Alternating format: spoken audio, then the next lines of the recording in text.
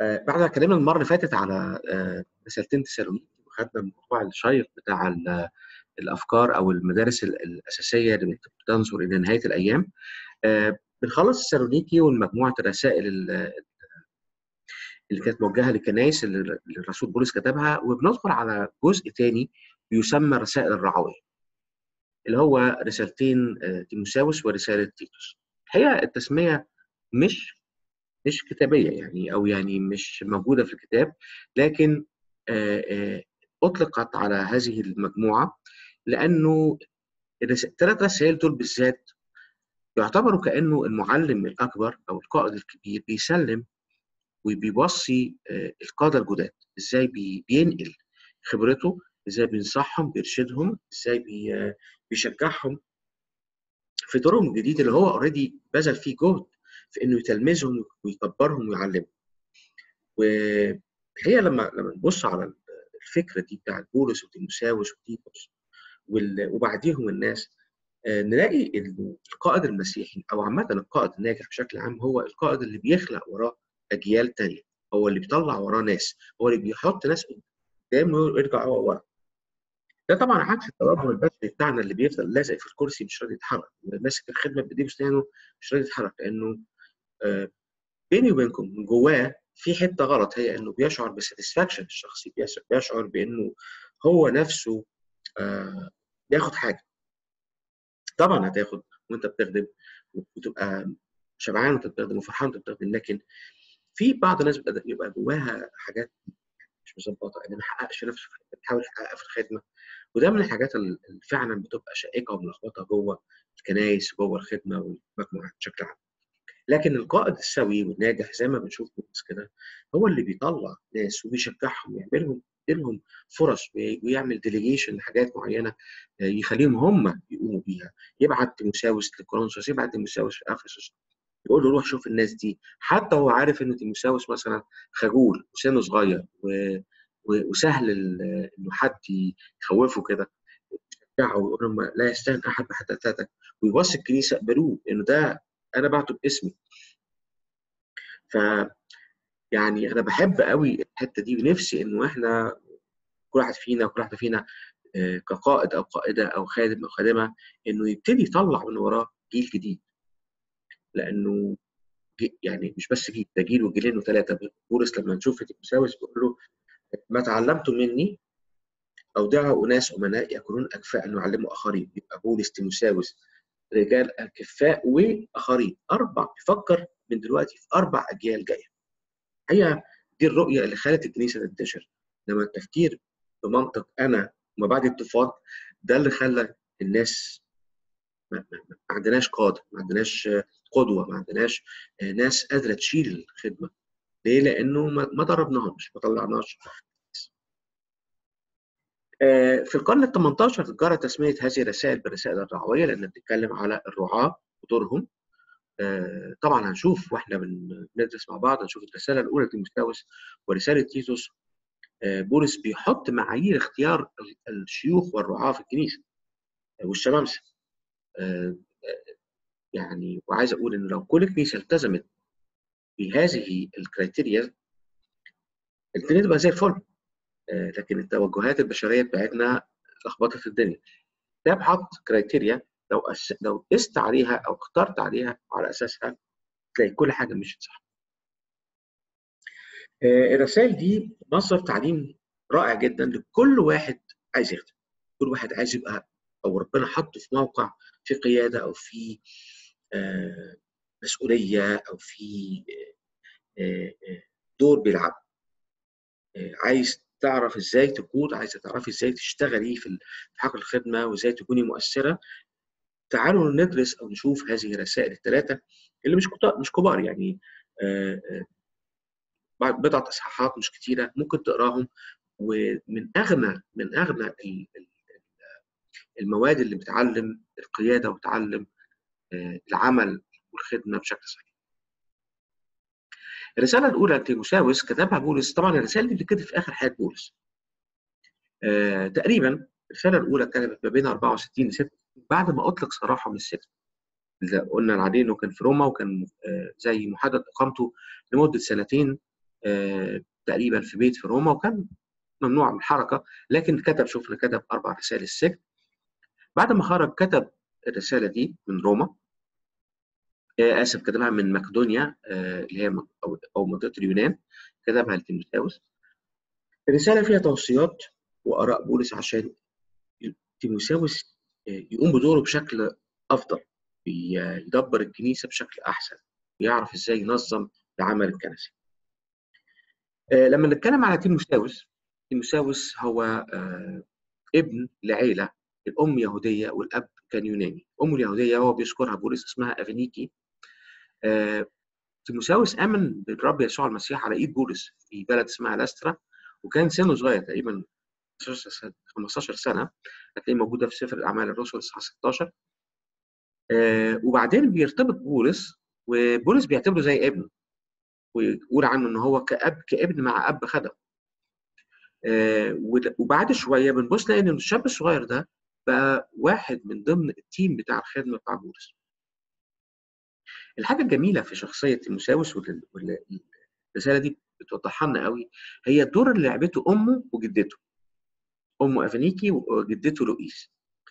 بولس بيقول انك منذ الطفولية تعرف الكتب المقدسة وأنت الإيمان ده اخذته من أمك ومن جدتك. وهنا ده دور جميل جميل جدا للمرأة.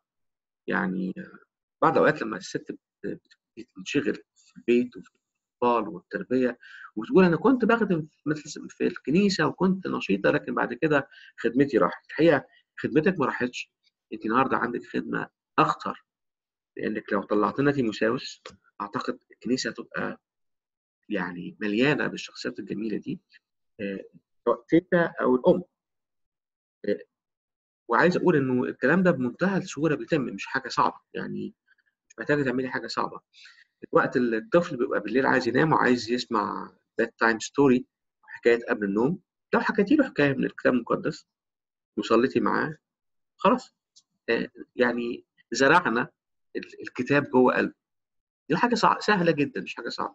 لو عرفنا في البيت نعلم معايير الكتاب لو عرفنا في البيت نسلك بما يقول الكتاب هتلاقي كل حاجة اتشربت.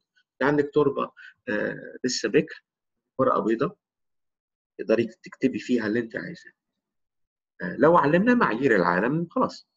فعشان كده بنقول إنه الكتاب بيورينا تأثير الجدة وتأثير الأم اللي طبعا في الأيام دي لا كانوا بيشتغلوا ولا كانوا بيطلعوا ولا كانوا بييجوا كانوا قاعدين في البيت. ليها دور ليها دور. آه بعد سبع سنين أصبح مستوس وعنصر رئيسي في مجموعة في المجموعة بتاعت بولس اللي بتتحرك في الميشنز وفي زرع الكنائس والتبشير وفي الكراسة.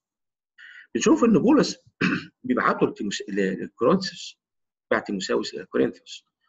وده كان في وقت صعب. الكنيسة كانت تمر فيها بوقت سخيف جدا مشاكل كتيرة لكن هو راح باعت التلميذ بتاعه يحطه في وضع المسؤولية. بيجربه بيسنده بيقول له تعمل إيه. وسابه بعد كده مرة ثانية بعته في إفسس عشان يرعى الكنيسة. في إفسس برضه كان في مخاطر. آه بعد شوية هتبص تلاقي إنه إنه تيموساوس هياخد دور راعي أو أسقف في افسس طبعا مع اختلاف التسميات واختلاف التفسيرات في الأغلب يعني بحسب نص الكتاب كلمة الراعي والأسقف والشيخ هم ثلاث مصطلحات بيعنوا نفس الوظيفة الأسقف أو الراعي أو الشيخ. الثلاثه بيقوموا برعاية شعب الله برعاية كنيسة الله. الشمامسة هم المعاونين أو هم المسؤولين عن معاونه الرعاة أو القيام ببعض الأدوار زي الأدوار الاجتماعية الخدمة الاجتماعية الموجودة جوه الكنيسه لكن الكتاب بيقول على الاثنين إنه لازم يكون لهم صيت حسن لازم يكونوا عندهم اختبار حقيقي لازم يكونوا صالحين للتعليم عارفين الكلمة لهم شهادة حتى من الناس اللي بره. شوف لما لما أبص على تقسيم الرسالة أبص لأن في الصح الأول دايما هتلاقي بولس مركز في حاجة مهمة قوي وكل وكل طبعا كتاب العهد الجديد مركزين في نقطة مهمة قوي وهي محاربة التعليم الكاذب. لو عرفت لو عرفت تحافظ على الكنيسة بتاعتك أو على المجموعة بتاعتك أو على بيتك أو على أطفالك إنك تشربهم التعليم النقي تحافظ عليهم من التعليم الفاسد تأكد إن كل حاجة هتمشي زي بالظبط لو لو إحنا بناكل أكل فاسد جسمنا يعني. الكنيسة كمان لما بتاخد أكل فاسد لما بتاخد تعليم فاسد تعليم غلط تعليم كاذب ممكن يكون حاجة صغيرة قوي. أنت مش محتاج تحط غير نقطة سم تحت الكبيره أو في التورته الكبيره فمش محتاجة تحط حاجات كتير. هي نقطة كافية إنها تقتل. نفس الفكرة كمان. التعليم الكاذب محتاجة محتاج حد يكون مدقق له أو واخد باله منه. قوي ليه؟ لأنه نقطة واحدة بس ممكن تموت الناس. فعشان كده دايما هتلاقي بولس بطرس يوحنا آه الناس اللي كتبوا الرسائل يعقوب آه يهوذا بيعلموا من بيحذروا من التعليم الكاذب أو الفاسد. الوقت ده كان كان أكتر حاجتين بيواجهوا الكنيسة كانت بدعه التهود اللي الناس عايزة تخلي المسيحيين يعودوا إلى أركان الناموس تاني والبدعة الثانية كانت بدعه الغنوصية أو بدايات ظهور الغنوصية. دول كانوا أشهر اثنين طبعا كان في حاجات ثانية بس دول أشهر. آه فبيقدم بولس مقارنة بين الناموس وبين عمل النعمة عشان يفهم تيموساوس ويشرح للكنيسة إنه الناموس عمره ما يخلصك. والناموس لو حتى رجعت له في النهاية بترجع لأركان ميتة مش مش مش مش حقيقية. آه مش مش حقيقية ملهاش ملهاش قوة الحياة. بينما نعمة الله آه وعملها في الإنسان بتهبك وتقودك إلى الحياة الجديدة والخلاص كل الكلام الرائع اللي الرسول بيقدم. الاصحاح الثاني والثالث اتكلم الرسول بولس على تعليم إزاي الراعي يدبر كنيسته. بيتكلم على الصلاة بيتكلم على دور الرجل ودور المرأة بيتكلم عن الأسقف وعن الشماس. الأسقف بيحط كرايتيريا مواصفات اختيار هذا الشخص والشماس بيحط مواصفات اختيار هذه هذا الشخص. دول منصبين في الكنيسة. آه ولو تقرب الاثنين جنب بعض كده وتاخد الكلمات تبص تلاقي انه الاثنين قريبين جدا. آه الاثنين لابد إن يكون لهم آه صورة حقيقية بتنم عن انه ليه اختبار حقيقي وانه شخص قادر على التعليم بيعرف كلمة الله. مش إنه الشيخ هو شخص بيدير الكنيسة ويمسك حسابات الكنيسة. مش هي دي القضية. القضية كلها هي إنه كيف يرعى رعية الله. الإصحاح الرابع هنلاقي بيتكلم على بولس في الرسالتين دول هيتكلم على الأزمنة الأخيرة. بيقول إنه من معالم الأزمنة الأخيرة هي ظهور حركة الارتداد. ناس كتيرة هتسيب الحق. ناس كتيرة هتدور على وعاظ ومعلمين يقولوا لهم كلام على مزاجهم. يستخدم هيستخدم بولس كلمة يعني تعبير غريب قوي يقول لك إيه؟ معلمين مستحكه أذانهم. يعني بالظبط كده لما تقول واحد كده اهرش لي في ودني. إيه نفس الكلمة يعني. عارف عندك حاجة وتقول واحد اهرشني فهو عايز عايز كلام بالتفصيل كده ابسط لي ودني اضربني اضرب لكن تيجي تكلموا على حياة القداسة تيجي تكلموا على التبعية تيجي تكلموا على أمانة تيجي تكلموا عن الوكالة ما تقلش على الناس. كلمونا بالنعمات. عايز إيه؟ عايز واحد يقول له ربنا هيباركك ربنا هيدلعك أنت تؤمر الصبحيه تقول أنا عايز آه إيه هيجي لك ويعملها لك. والبروسبريتي جوسبل وأنت لازم تبقى غني ويكون عندك عربيات ويكون عندك اصول ومش بعيد طيارة كمان. ده ال prosperity gospel اللي بتقدم يعني تشوفوا مثلا واحد زي جوال أوستين الدوشه اللي عاملها okay؟ المسيح عمره ما قال كده. هل المسيح قال أنا هديك طيارة واديك عربية واديك قصر واديك رصيد في البنك؟ كلهم كانوا غلابة المسيح ما كانش له أين يسند رأسه. هل كان يعجز المسيح من كده؟ مش هو ده إنجيل هذا إنجيل آخر. الاصحاح الخامس والسادس بيتكلم على آه وهتشوفوا الكلام ده موجود في الثلاث رسائل آه أو على الأقل في الرسالة الأولى ورسالة آه تيتوس. إزاي الناس جوه الكنيسة تسلك فياخد فئة فئة من الشعب الشيوخ اللي هم المسنين مش اللي هم الالدرز لا بيتكلم على اللي هم المتقدمين في السن. إزاي يكونوا ذوي وقار؟ وإزاي يكونوا صح واعيين وصحيين؟ كلمة صح يعني آه بالإنجليزي اللي هي الصابر يعني شخص مش واقع تحت تأثير الخمر. شخص واعي بيتحرك بإدراك بحكمه وبتعقل. آه بيتكلم عن الأرامل. مين هي الأرملة؟ وإمتى الكنيسة تلعب الدور ده مع الأرملة؟ الكنيسه تساعد أي الأرملة. هل أي حد؟ لا بيقول إن لما يكون واحدة ملهاش حد خالص الكنيسة تقدر تساعدها. لكن واحدة عندها أولاد مسؤولية الأولاد إن هم يساعدوا أمهم أو يرعوا أمهم ويكرموهم. بيتكلم عن العبيد والسادة. طبعا في الوقت ده كان في نظام الرق نظام العبودية. فكان حاجة موجودة في المجتمع المسيحية ما جاتش تلغي أو تقلب نظم سياسة أو نظم اجتماعيه المسيحيه بتتكلم على العلاقة الشخصية بين الإنسان وبين الله عن طريق الرب يسوع المسيح. فبيقول له لو أنت عبد ودعيت وأنت عبد فانت حر في المسيح. لو أنت سيد أو أنت حر أنت بقيت عبد. عايز يقول له أنتوا الاثنين واحد. ولو أنت عبد اكرم سيدك بكل أمانة. ولو أنت سيد بلاش تهين أو تأذي تجرح العبد عامله لأنه أخوك.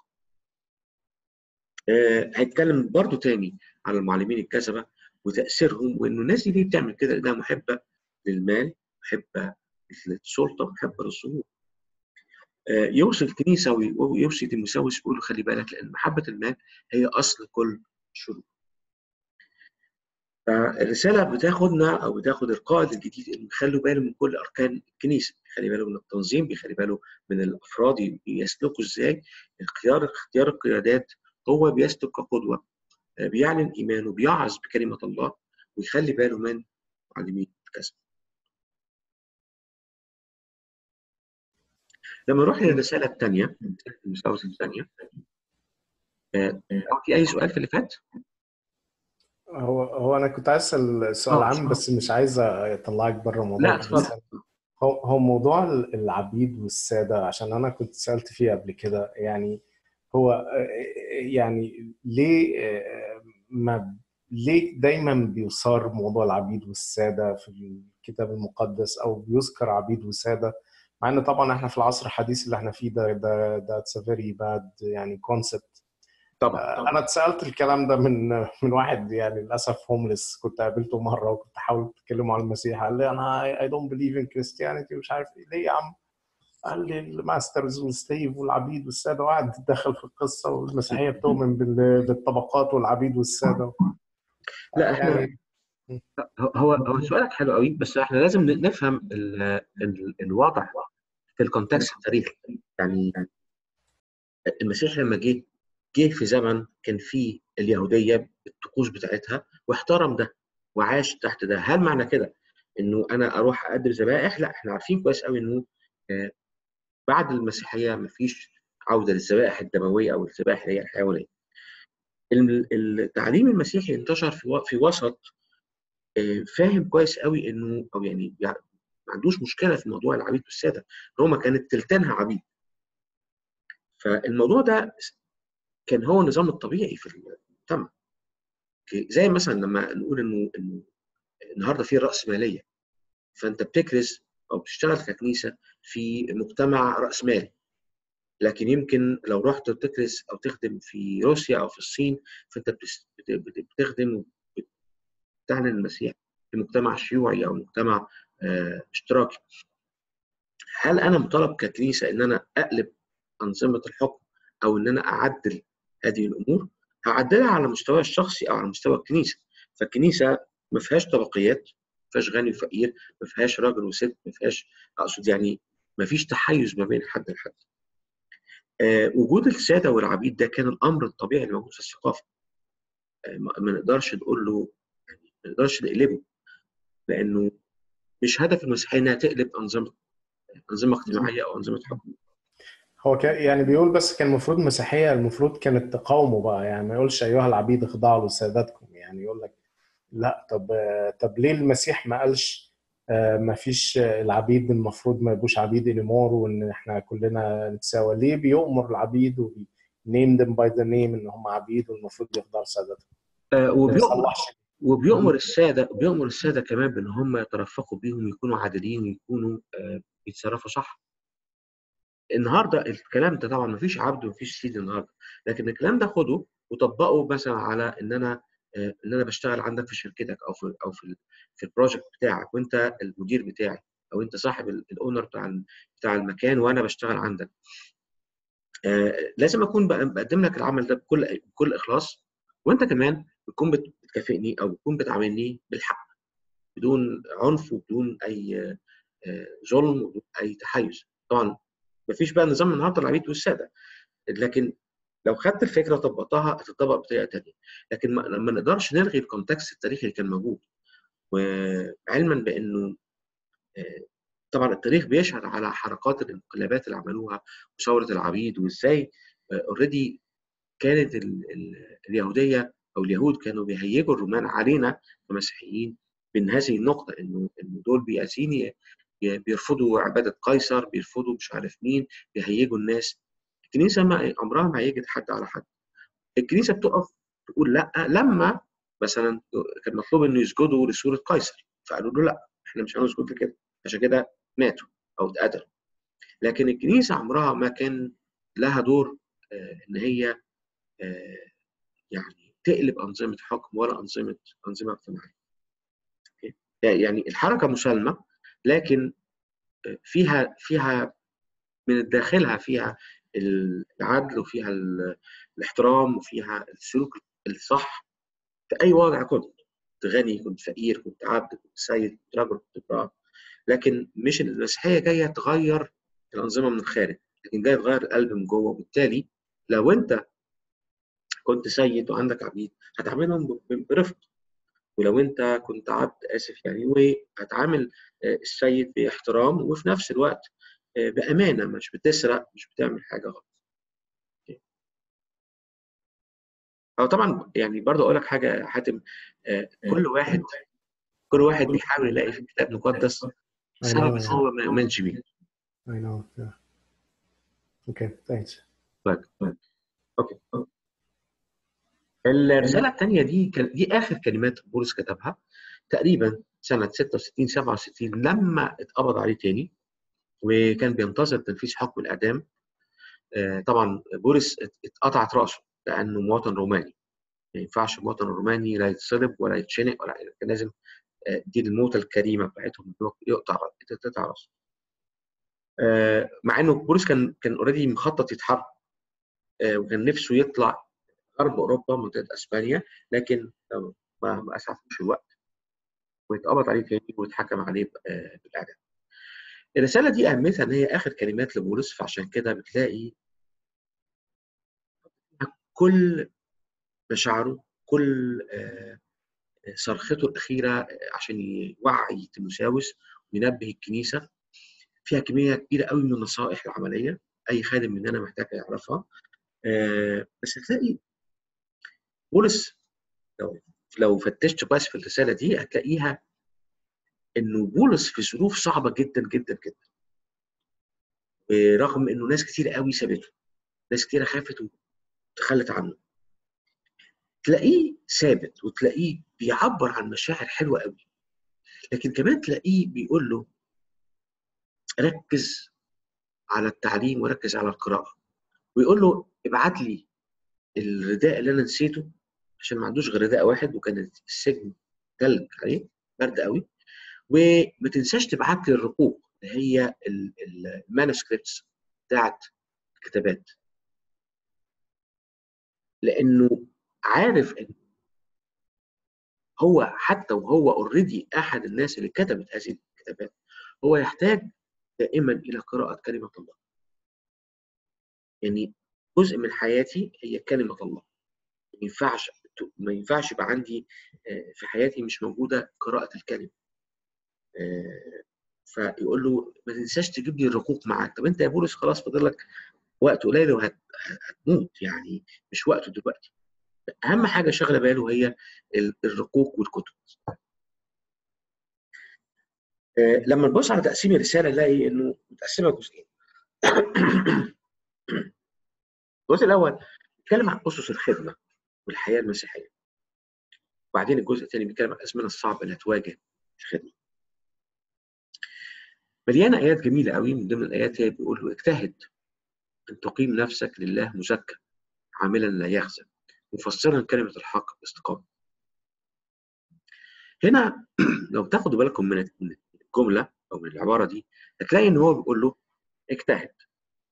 في في ترجمات الإنجليزي بتيجي study hard ذاكر كويس أو ابذل الجهد.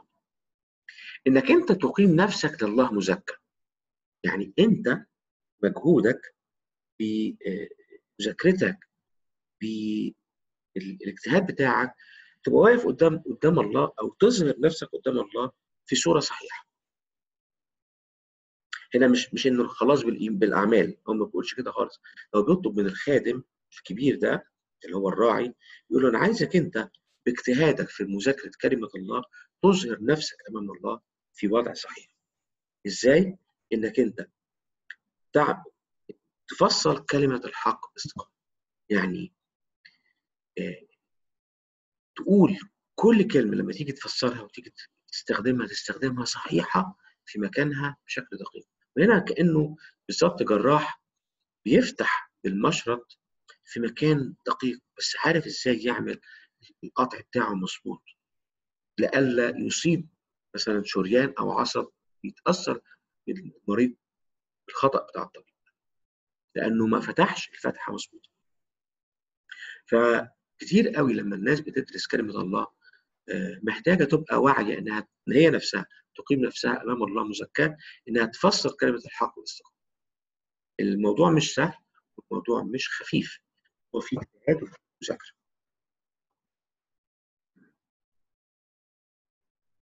الأول لما أشوف كده الصح الأول ألاقي بولس بيقدم مقدمة رقيقة جدا فيها مشاعر فيها حب وتيموساوس بيقول له أنا عارف إيمانك من منذ حدثتك ويقدم له حب. فبولس مش شخصية ناشفة قوي زي ما الناس بتتصوره. يشجع تيموساوس جدا إنه يتع... إنه يعيش بإخلاص ويتمسك بالتعليم الصحيح. يشجعه في صح اثنين إنه يحتمل المشقات يقول له تقوى أنت بالنعمة التي في المسيح يسوع وإنك تحتمل المشقات كجندي صالح ليسوع المسيح. ويحط ثلاث صور الجزئية دي. يحط صورة الجندي.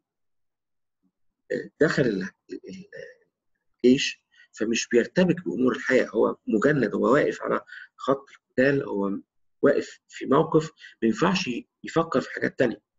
هو الجندي ويحط صورة الفلاح اللي بيشقى وبيتعب ويصحى بدري. عشان يسقي الزرعة بتاعته عشان في النهاية يحصد صح.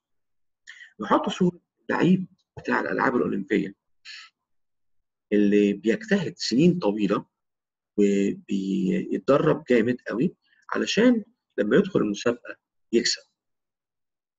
الثلاث صور دول بيحطهم قدام عينين تيموساوس عشان يقول أنت اجتهد. آه ليه إنه يجتهد؟ قالوا علشان هتواجه صعبة هتواجه معلمين كذا وهتواجه ناس بتدعو إلى الانحراف.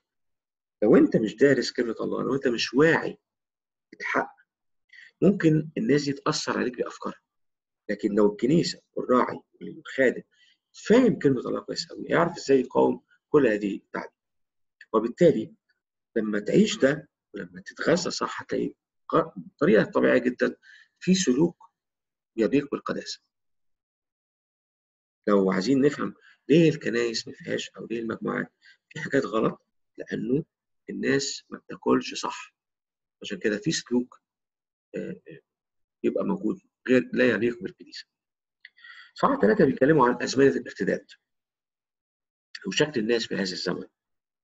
وازاي يكونوا معجبين بالذات بنفسهم محبين للشهوات واللذات؟ إزاي بيدوروا على الربح القبيح إزاي بيخدعوا النساء إزاي بيعملوا حاجات كتير قوي كلها شر وكلها ضد الحق. في المقابل يقول له أما أنت أنت حاجة تانية. المؤمن حاجة تانية. ما كنتش أنت حاجة تانية ففي في سؤال كبير قوي على حياتك. انت مين؟ ما كنتش تختلف عن عن الناس دي؟ وما كانش حياتك بسلوكك وفكرك وتوجهاتك تختلف؟ في كويستشن مارك كبيرة. يا ترى أنا حقيقي مع الرب ولا؟ آية مشهورة جدا ومهمة جدا وأرجو إن إحنا نحفظها تماما. إزاي اسمنا؟ تيموثاوس الثانية 3 16 كل الكتاب هو موحى به من الله. ونافع للتعليم والتأديب والتوبيخ والتقويم. عشان يكون إنسان الله كاملا مستعدا لكل عمل صالح. هندرس قوي كلمة موحى به دي عشان طبعا الوحي في المسيحية يختلف عن أي وحي تاني لكن باختصار شديد كلمة موحى به دي كلمة مكونة من مقطعين أو من كلمتين مجموعين مع بعض اسمها ثيوبنوستوس. ثيوبنوستوس بتيجي من كلمتين ثيوس الله.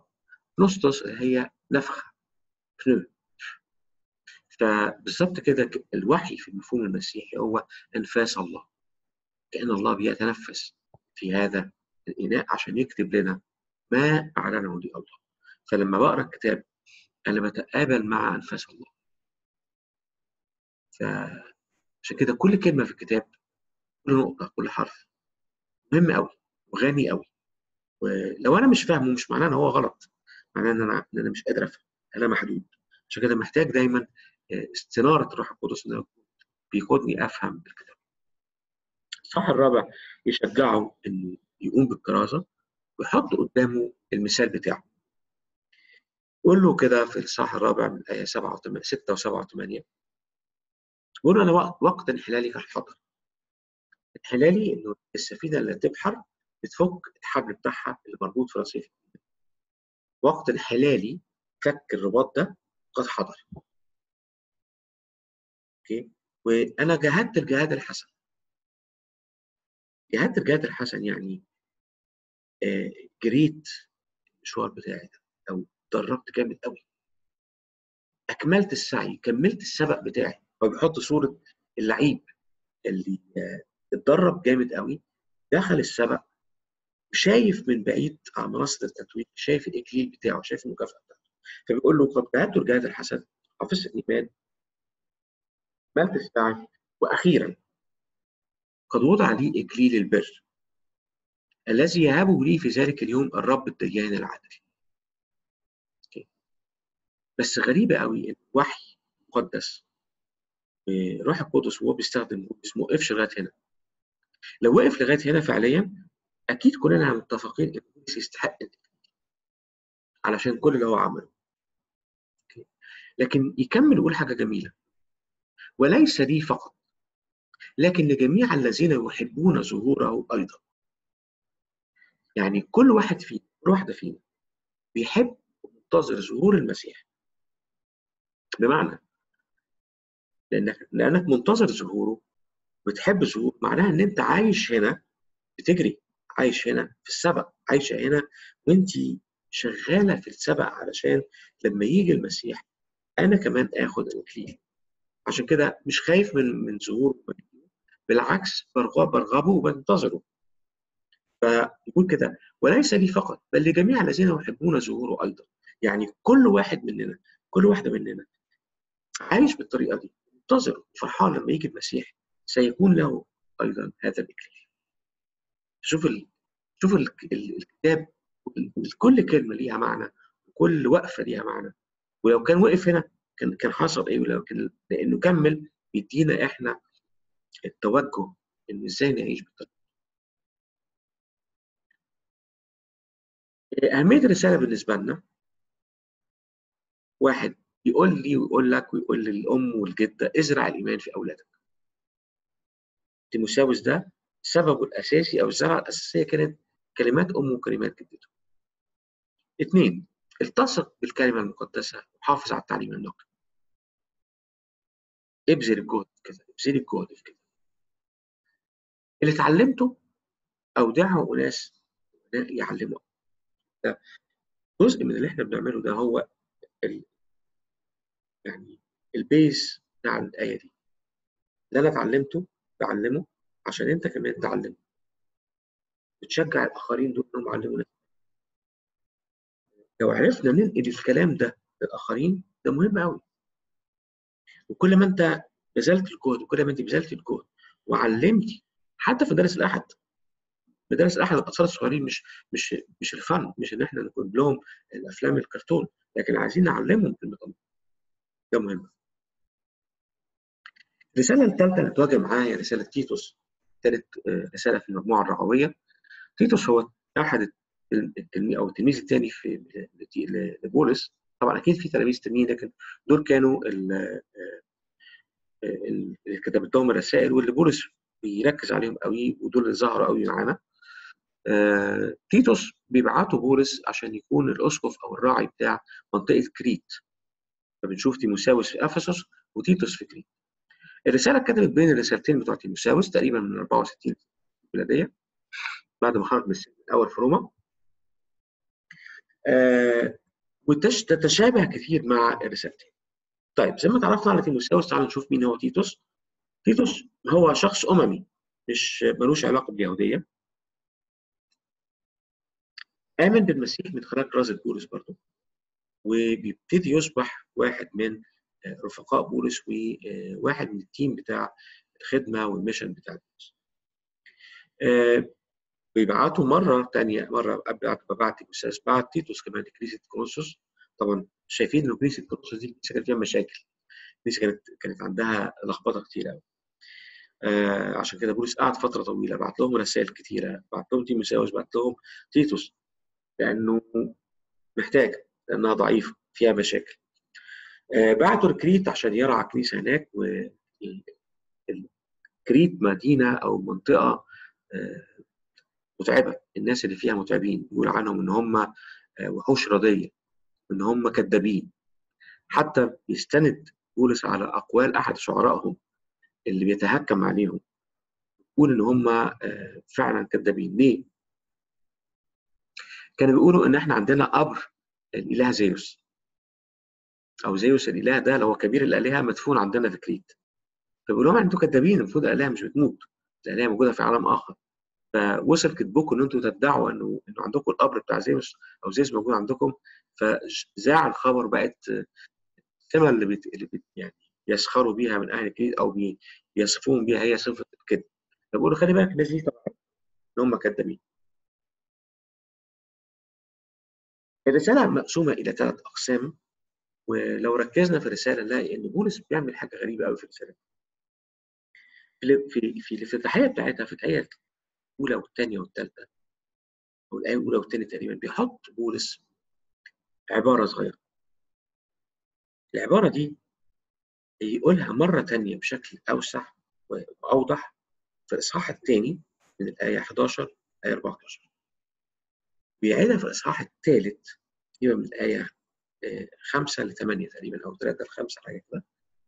بيقولها بشكل أوسع أكتر. فكأن عندك نقطة بتكبر تكبر. هي هي نفس الفكرة بس بيكبرها ويوسعها ويعملها امبليفيكيشن أكتر. الرسالة نفسها زي رسالة تيموثاوس بتركز على وضع أسس الخدمة والقيادة الروحية في الكنيسة وإزاي هو كراعي يقدر يكون بيرعى كنيسته ويقودها بشكل صحيح. رساله تيتوس فيها جانب جميل قوي هو التركيز على التطبيق العملي للحياة المسيحية سلوك يبقى سلوك الناس في تعقل في بر في تقوى في قداسة لأنه ناس كتيرة فاهمة إن بولس عكس يعقوب. بولس بيتكلم عن الخلاص بالنعمة بولس يعقوب بيتكلم عن الخلاص بالأعمال. الفكرة دي خاطئة جدا. مش صح. بولس بيتكلم عن التبرير بالنعمة. يعني عشان تاخد البر. ده حاجة من الله. البر هو انه تفحص أوراقك في محكمة ويطلع شهادة من المحكمة بتقول إن أنت ما عليكش أي سبقه ما عندكش أي خطا أي خطأ. خطأ. بتكتسب بر الله في المسيح. فبولس بيقول الكلام ده مستحيل تعرف تجيبه بنفسك. لكن ده من الله بتاخده بالنعمة عن طريق الإيمان بيسوع المسيح. اللي بيقوله يعقوب مش العكس. اللي بيقوله يعقوب بيقول إزاي برك يظهر قدام الناس؟ إزاي تتبرر أمام الناس؟ بمعنى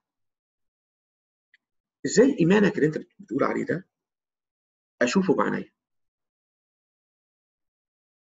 لما بي بيستخدم نفس نفس مثلا ال ال الأمثلة اللي بيستخدمها بولس بيستخدمها بيعقوب برضه بس بيقولها بطريقة ثانية عايز يقول إيه؟ آه إبراهيم آمن بس الإيمان بتاعه ده خلاه يعمل حاجة. يعني عايز يشوف ثمر الإيمان فبيقول له وريني إيمانك بأعمالك. وأنا أوريك باعمالي بأعمالي إيماني. يعني هو بيتكلم على إحنا بنشوف إزاي. واحد جاي بيقول لي أنا مؤمن لكن عايش في النجاسة. عايش في حاجات كثيرة خطايا وبيتكلم بطريقة غلط. طب إزاي ممكن أصدقك أو اصدقك وأنت كده؟ فيعقوب بيتكلم عن التبرير أمام الآخرين بينما بولس بيتكلم عن كيف تنال البر الذي من الله. فالاثنين بيكملوا بعض. هنا بولس بيركز على إنه النعمة مش بس بتخلصنا لكن النعمة بتعلمنا كيف نعيش وإحنا بنرفض بحية بنرفض قضية بينما نقبل ونعتنق ونتمسك بالإيمان وبالتقوى وبالسلوك الحسن. هياخد فترة ياخد حتة كبيرة جوه الرسالة دي هيتكلم برضو على كل فئة في المجتمع المسيحي أو في الكنيسة كيف تسلك.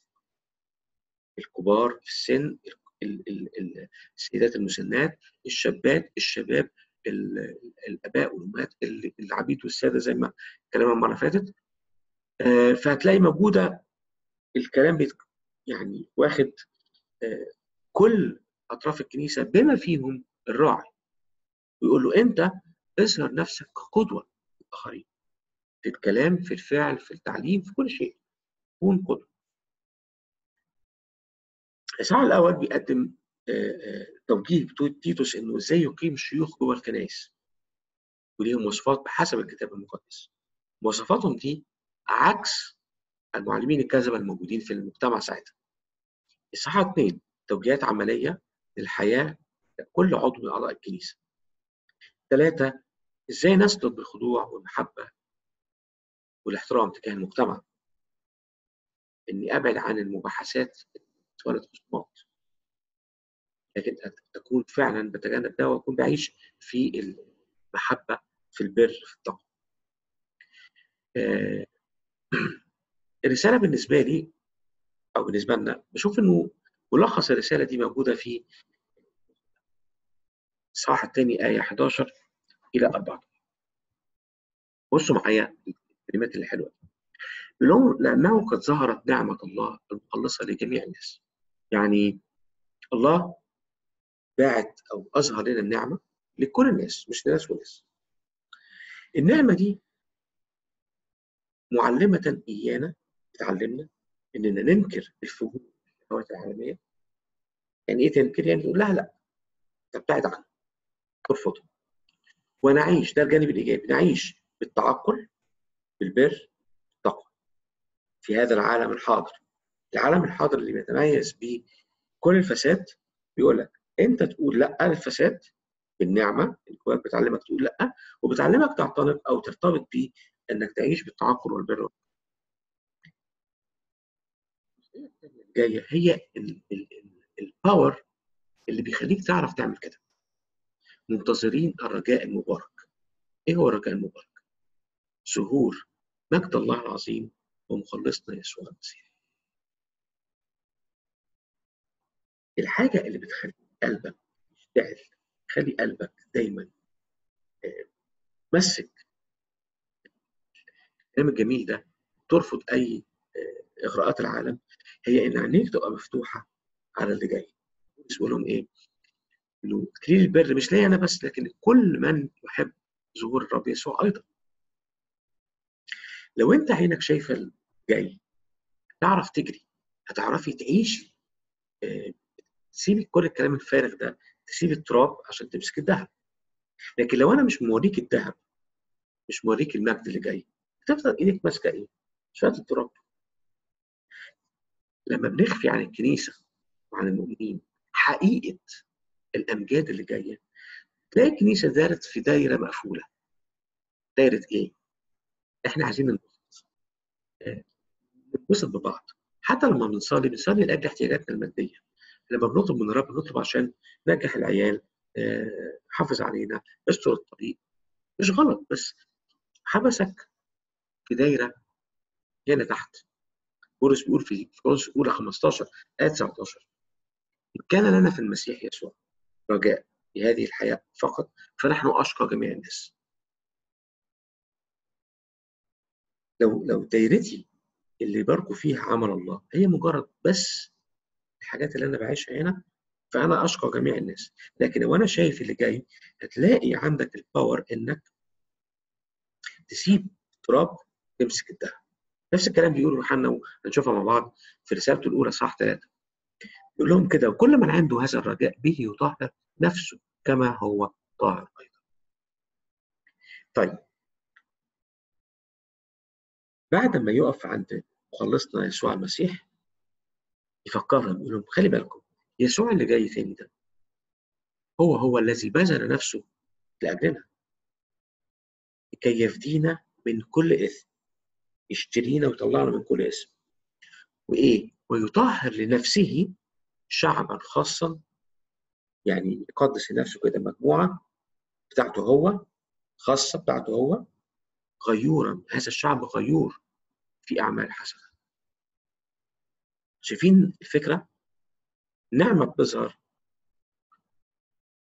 ومفتوحة لكل الناس عشان تخلصهم بس كمان بتعلمنا ان ننكر الفجور والشهوات ونعيش بالتعقل والبر والتقوى في هذا العالم الحاضر وإحنا منتظرين الرجاء المبارك وظهور مجد الله العظيم يسوع المسيح اللي هو بذل نفسه لأجلنا عشان يفدينا من كل اسم ويطهر لنفسه شعب خاص غيور في أعمال حسنة. الآية دي هي دي الفكرة بتاعت الرسالة. إنه النعمة مش هللويا رفعت إيدي وسلمت حياتي وأعيش حياتي بطول العمر لا.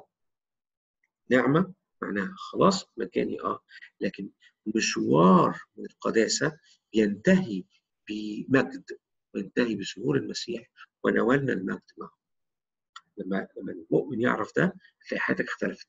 تلاقي قلبك اشتعل. ليه؟ لأنك شايف حقائق آه قبل ما ناخد بريك نختم برسالة من الرسائل الجميلة جدا. آه رسول بولس وهي رسالة فيليب. طبعا الرسالة عبارة عن إصحاح واحد وبعض الناس مش فاهمة إيه الحكاية.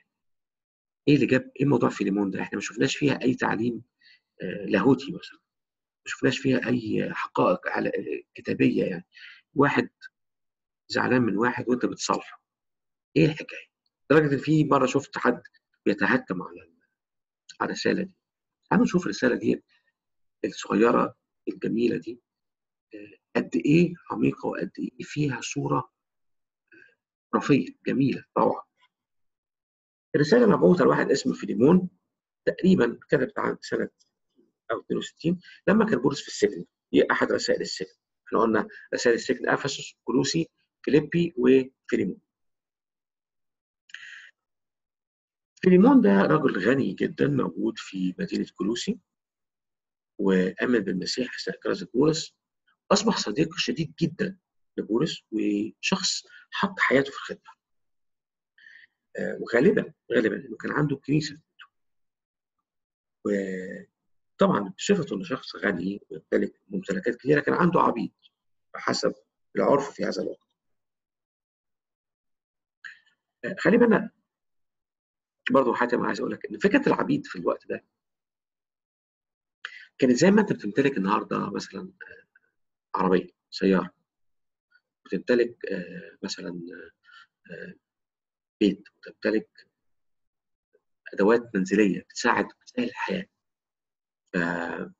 مثلا عندك عندك عايز تجيب مية في الزمن ده محتاج حد يروح يجيب لك مية من البير. في الزمن ده محتاج حد ينظف محتاج حد يدير شؤون مثلا حقل محتاج ناس تقف عند ترعى الغنم. إنه ده عنده ممتلكات كتير قوي فالناس دي شغالة عنده. آه طبعا بمفهوم إنه اشترى آلة عشان تقدم بالغرض. فزي ما إحنا النهارده بنتخيل تخيلوا الآلات اللي إحنا بنستخدمها آه بتقول أنا ما عنديش الحرية إني أمشي من عند صاحب صاحب من صاحبي ده اشتراني وأروح حد تاني. لازم صاحبي ده أو الممتلك يمتلكني ده يبيعني عشان أروح لحد تاني. ف يعني طبعا الصورة مضحكة شوية بس هو ده الوضع. لكن الراجل ده كان راجل فعلا فقير جدا لدرجة ان بولس بيقول عنه إنه كثير من القديسين استراحوا ريحت احشائهم كان الناس بتيجي ترتاح عند فيليمون وكان فعلا فيليمون شخص يعني حنون جدا واسمه هو المحب الشخص اللي بيقدم حب. وفعلا أراح احشاء القديسين زي ما بيقول الرسول. لكن فيليمون كان عنده عبد اسمه أنسيموس. أونسيموس كان عبد متمرد قرر في يوم إن هو يهرب من سيده وعايز يتحرر فكان الفكرة بتاعته إنه يهرب وياخد مركب يعدي من أف من منطقة كروسي اللي هي موجودة في تركيا ويوصل إلى روما. فيبعد بعيد جدا عن مجال التفكير سيده يدور عليه ويلاقيه. فغالبا سرق حاجة من البيت ما نعرفش إذا كانت حاجة مادية أو حاجة عينية وهرب وراح روما. وهناك وهو في روما الصدفة يعني أو ترتيب ربنا يعني جمعوا بولس والراجل ده العبد ده آمن بالمسيح وأصبح بيخدم بولس جدا ونافع لخدمة بولس. في الوقت كان بولس فيه محكوم عليه بتحديد إقامته في روما. لكن بولس لما عرف إنه ده عبد لفيليمون بولس هيلعب دور رهيب جدا دور المصالحة. فهدف الرسالة هنا إنه إزاي بولس هيصالح الاثنين على بعض وهيرجع العبد لسيده علما بإنه القانون في هذا الزمن عشان يعرفوا يتحكموا في العبيد لأنه بيقول لك كان تلت الدولة الرومانية سادة والتلتين عبيد. فلو عشان يحكموا قبضتهم عليهم كانوا بيقولوا لو عبد هرب من سيده القانون بيباح لك كسيد إنك تأدب العبد ده حتى لو قتلته. القانون مش هيس... مش هيسألك في أي حاجة. فالهرب بتاع بتاع أونسيموس ده معناه إنه لو واقع في إيد حد ورجعه ليمون سيده فممكن حياته تنتهي. لكن بولس هيقف هنا ويرجع الاثنين بدون ما ينهي حياة أو يعني ينقذ حياة سيموس وأيضا يرجعهم في صيغة جديدة. مش بقى سيد وعبد لكن إخوات مع بعض. هنشوف هيعمل إيه. لما تقرا في الرسالة هتلاقي إنه يبتدي أول حاجة يمتدح فيليمون يمتدح إيمانه وأسلوبه هو وعيلته. وبعدين يقول له آه أنا وإن كنت أنا اللي جبتك المسيح وكنت أنا زي الأب ليك وإنه يحق لي إن أنا أمرك بحاجات تعملها لكن أنا مش هقدر أمرك أنا مش هستخدم الحق ده. لكن هستخدم حقي كصديق وشيخ كبير في إني أطلب منك كل يعني احترام كده أطلب منك من أجل ابني أونسيموس. اللي ولدته في قيودي. اللي أصبح نافع ليا. وهنتفرج هنشوف ان كلمة اونسيموس اسم اونسيموس نفسه معناه نافع. فبيقول له كده إن هو اونسيموس ربما ما كانش نافع ليك لكن دلوقتي أصبح نافع ليا وليك وللخدمة. فنافع اللي ما كانش نافع بقى نافع لما قبل المسيح. فبيقول له أنا بسألك إنك تقبله تاني نظيري أنا بولس. يعني لما تقبله تقبله على أساس إنك بتقبل بولس نفسه. بصوا بيحط نفسه فين؟ وإن كان له إنك ليك عليه شيء أو ظلمك في شيء فأنا أوفي. أنا واقف مكانه وبقول لك أنا أرد لك التاخد وراح واخد أخد المخطوطة أو الورقة من إيد الشخص اللي بيمليه وكتب بإيده. أنا أوفي أنا بولس كأنه بيمضي على شيك على بياض أو كمبيالة على بياض بيقول له حقك خده مني أنا. واقبله النهارده مش كعبد لكن تقبله كأخ لأنه حقيقي ابن الله. عشان كده هو أخوك. ويخدمك مش كعبد يخدمك كأخ كأمين يحبك.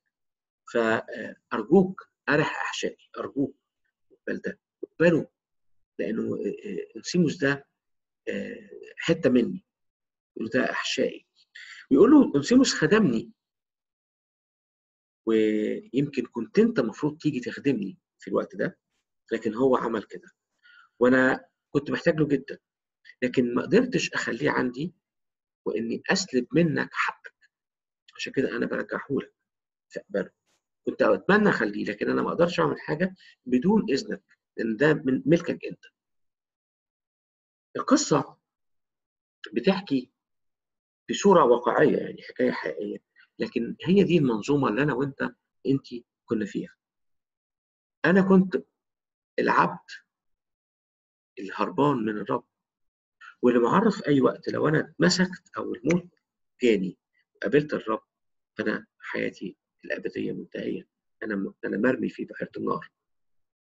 لكن في شخص تدخل وصالح الاثنين وقال له خد حقك مني أنا أنا أديهولك. بس لما تقبله تقبله على إنه أنا.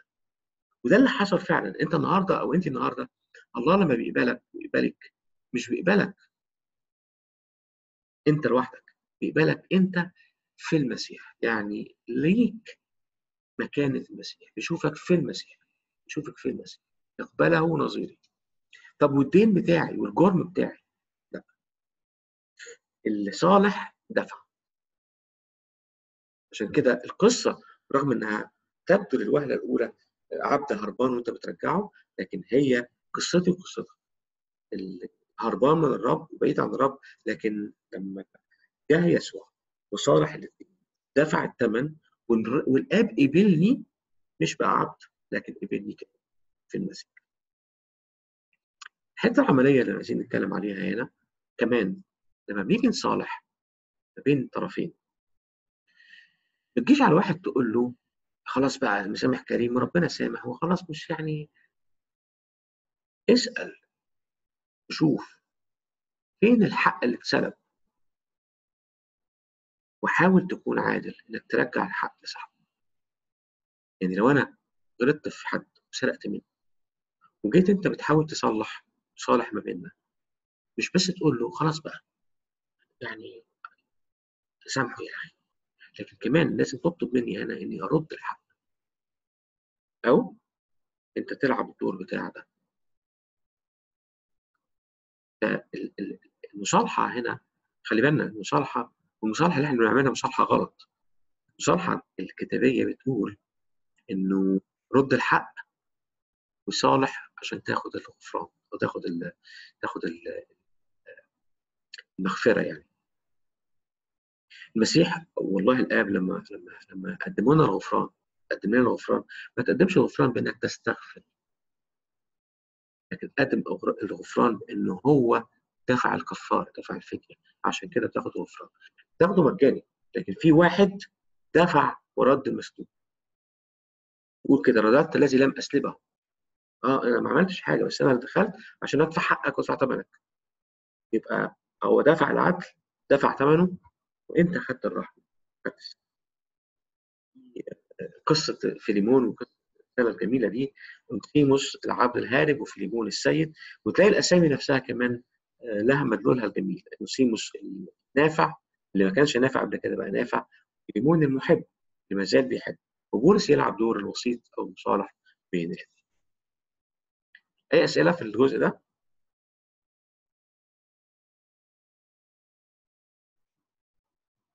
كان في روما كان بيتكلم مع الناس كله كان يوناني ولا؟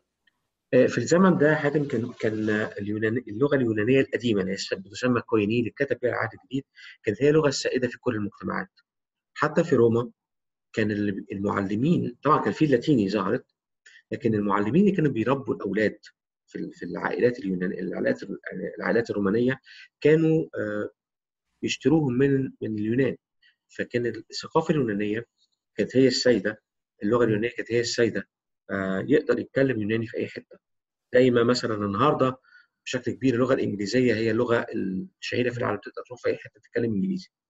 رغم إن في لغات الأصلية بتاعت كل بلد لكن اللغة الإنجليزية مثلا لغة سائدة في كل العالم. ففي الوقت ده كان في كده كان في لغات الأصلية بتاعت الشعوب لكن اللغة الكويني اللي هي اليوناني القديم كانت منتشرة بشكل كبير يمكن أكثر من الإنجليزي. أوكي. هو بولس يهودي صح؟ بولس هو يهودي اتجن... آه اتجنس يوناني بقى ده نتيجة للاحتلال؟ لا هو كان هو كان يهودي الأصل أبا عن جدا لكن كان عايش في مدينة اسمها طرسوس كانت في شمال سوريا أو تقريبا في الحدود ما بين سوريا وتركيا. لكن هو من أب وأم يهودي عشان كده لما بيتكلم عن نفسه بيقول أنا عبراني من من سبط بنيامين. بالظبط لكن جاب الجنسية الرومانيه منين بقى؟ آه لأنه كان مولود في مقاطعة موجودة تحت الحكم الروماني فاخذ آه. الجنسية الرومانية. زي مثلا لما تقولي إن انت مصرية آه، ابا عن جدا لكنك اتولدتي في أمريكا فخدتي الجنسية الأمريكية. حسب okay. الميلاد واخد بالك لكن هو من من آه، يعني عرقيا أو ابا عن جدا هو يهودي بالأصل يهودي بالمو يعني عايز أقول إيه آه. عيله يهودية okay okay شكرا طبعا وجوده برضو في المجتمع ده وفي المنطقة دي آه، آه، قعدوا نتعلم كويس قوي الثقافة اليونانية وال- والحكمة واللغة اليونانية اللي هنشوفها إزاي أثرت معاه في كتاباته في ثقافته وفي عقليته. هو هو بالتالي اتربى في في في أورشليم يعني. هو اتولد في طرسوس. اتولد في ترسوس وعاش فترة في ترسوس اتربى على اتعلم على إيد غمالائيل غمالائيل كان في كان في طرسوس ولا كان في لا كان اورشليم؟ في أورشليم. كان في أورشليم. هو كمان سكن في أورشليم لأنه آه. لما بنشوفه في سفر الأعمال إن هو كان آه، من واحد من ضمن مجمع سنهدرين كمان يعني كان فريسي وكان عايش في المنطقة دي وكان بياخد الأوامر عشان يقتل المسيحيين ويتحرك من أورشليم إلى دمشق عشان يموت المسيحيين. يعني هو apparently طلع بدري من طرسوس. راح عاش في غالبا غالبا غالبا. okay. Right بعد ما خلصنا رسائل بولس بن... بننتقل لمجموعة تانية من الرسائل اسمها رسائل الجامعة. برضو آه، التسمية مش مش آه، مش موجودة في الكتاب لكن أطلق عليها كلمه رسائل الجامعة آه، لأنها آه، ما اتكتبتش لكنيسة معينة اتكتبت بشكل عام آه، وتضم المجموعة دي ثمان رسائل. آه، آه، العبرانيين طبعا آه، في القرنين الاخاره هم اللي صارت عليها المشكلة إنه هل بولس هو اللي كاتبها ولا مش بولس؟ عشان كده اتحطت من ضمن المجموعة بتاعة رسائل الجامعة. ناس كتير بتقول التقليد الكنسي بيقول إنه بولس. آه، ناس كتير عندها آراء مختلفة. إنه ربما ما يكونش بولس. هنشوفها لما نفتحها مع بعض ونقراها. آه، زي ما بنقول الثمان رسائل عبارة عن رسالة العبرانيين رسالة يعقوب رسالتين لبطرس ثلاث رسائل ليوحنا ورسالة يهوذا. كده مجموعهم ثمانيه آه، اللي بنسميهم الكاثوليكون أو رسائل الجامعة كلمة كاثوليك أو كاثوليكون معناها جامع يجمع. رساله العبرانيين آه، طبعا ال- الوقت الأخير اللي حصل إنه كتير قوي من علماء ال- النصوص وبعض الناس كتير قوي آه، قالت شكله إنه مش بولس اللي كتب لأنه مش بنفس الستايل آه، مش نفس الدخلة مش ما فيهاش ما فيهاش الإفتتاحية اللي بولس متعود يقولها. دخل على طول في الموضوع. ما جابش اسمه خالص. فصارت آه، دراسات وجدالات حوالين الموضوع ففي كذا اسم مرشح ليها من ضمنهم بولس طبعا. ناس قالت إنه لوقا ناس قالت إنه ابولس برنابا أو سيرا. آه طبعا في ارجيومنتس كتير قوي في وفي آراء كتير قوي في كل واحد عنده دليل. آه لكن آه أنا أنا أنا شخصيا بميل إنه يكون بولس ومع كتير من من التقليد الكنسي بيقول إنه بولس فبغض النظر عن مين الكاتب هنشوف مع بعض الرسالة وروعتها وجمالها هتفهمنا حاجات حلوة. تاريخ الكتابة بتاعتها ربما بيرجع الفترة ما بين آه، 63 إلى 65 ميلادية. آه، اتكتبت لمين؟ ورسالة العبرانيين رسالة مهمة إنك دايما تخلي بالك وأنت بتقراها. هي مكتوبة لمين؟ ومكتوبة ليه؟ علشان فيها أجزاء جوه الرسالة آه، آه، استخدمت بصوره خطأ دون آه، مراعاة اتكتبت لمين واتكتبت ليه. وهنشرح الكلام ده واحد كتبت لمجموعة من اليهود اللي امنوا بالمسيح لكن اليهودي اللي امن بالمسيح في الزمن ده كان عنده ضغط شديد جدا. اولا في اضطهاد عنيف من الدائره اليهودية. كان بيترتب عليه إنه ممكن يتحرم من شغله يتاخد منه ممتلكاته آه، يطرد من عيلته وربما يوصل حد القتل زي ما شفنا إنه كان في آه، يقتلوا زي قتلوا استفانوس وكانوا واخدين الجنود يموتوا كمان المسيحيين. الضغط الثاني هو المعايرة أو التعيير و... وده بيرجع لشيء مهم قوي ان اليهود حياتهم وعبادتهم ودولتهم كلها حاج... يعني حاجات داخلة في بعضها. فأصولهم وعرقيتهم وتقاليدهم كلها مرتبطة بالدين. فحتة إن أنت تطلع من الدين اليهودي تروح دين تاني حتى هويتك اليهودية أنا بتكلم على الناحية الاحساس العرقي يعني آه، آه، بتحس إن أنت بتتخلع. ف... ففي حاجات كتير قوي بيبقى عليها ضغط آه، يمكن مش مش مش فيزيكال لكن في ضغوط نفسية شديدة جدا اجتماعية بتقع عليهم. كمان بدأوا يعيروهم أنتوا سبتوا كل أمجاد اليهودية دي عشان تمشوا ورا مجموعة ضعفة جدا. المعلم بتاعهم اتصلب وما بيعبدوش ما عندهمش هيكل ما عندهمش الذبائح دول بيجتمعوا في أوضة وأوقات ينزلوا تحت الأرض يصلوا. وناس ضعيفة جدا ما فيهمش حد متعلم ما فيهمش رجال الدين الموقرين ما عندهمش الكتب بتاعت موسى. أنتوا اتجننتوا أنتوا إزاي تروحوا؟ فكانت ضغوط من كل ناحية على الناس دي عشان يرجعوهم تاني. عشان كده بولس أو الكاتب يعني هيقول إنه الناس اللي استنيرت مرة واللي عرفت إزاي ترجع. أنت كده كأنك بتوصل المسيح تاني. بيحط عايز يوجه الناس دي إنه اوعى ترجع. ترجع إزاي؟ فهي الفكرة في في الأجزاء اللي, بعض الناس استخدمتها علشان استخدمتها عشان تقول إنه المؤمن بيهلك هي مش فاهمة بولس أو الكاتب بيكتب ليه أو بيكتب الاكسبريشنز دي ليه. إنه عايز يرد الضغط العنيف جدا اللي واقع عليهم يقويهم عشان يعرفوا يكملوا المشوار فبيقول مهما حصل معقول؟ يبقى أنت اللي اختبرت ده. ترجع تاني لورا وتسيب المسيح. إزاي؟ ما ينفعش ارجعك لو عملت كده. لكن أنا متأكد إن أنت مش هتعمل كده. ففيها بعد مختلف عن اللي الناس استخدمته باستخدام خاطئ. ده لما ببقى مركز هو كتبها لمين وكتبها ليه. اللي هيعمله كاتب العبرانيين هو إنه هيمسك بند بند في اليهودية بداية من الإعلان الإلهي اللي وصل عن طريق الأنبياء لغاية كل عناصر الديانة هيقول إزاي المسيح أسمى من كل ده. فهيقول له المسيح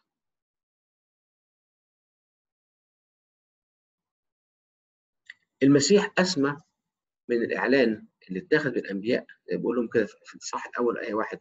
الله بعد ما كلم الآباء بالأنبياء بطرق وأنواع مختلفة كلمنا في هذه الأيام الأخيرة في ابنه.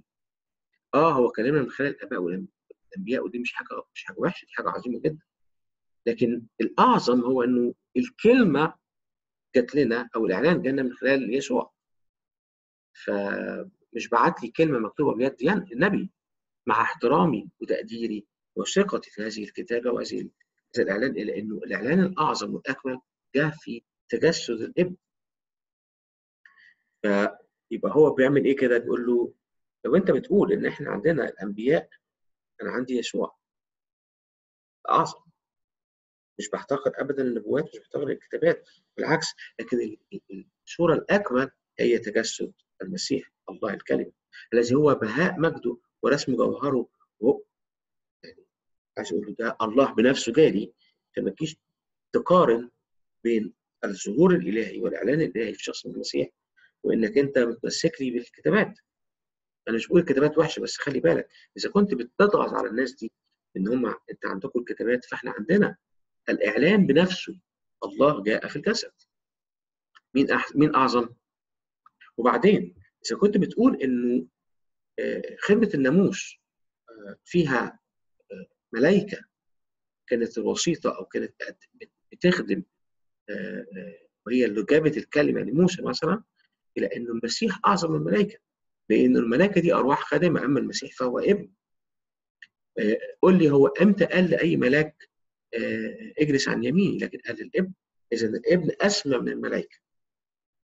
ياخده بعد كده يقول له موسى رجل الله النبي العظيم يختلف تماما عن المسيح. موسى كان أمين بس كخادم على البيت. أما يسوع فهو أمين كصاحب البيت. ما بقولش موسى وحش ابدا. بس بقول لك موسى حجمه إيه؟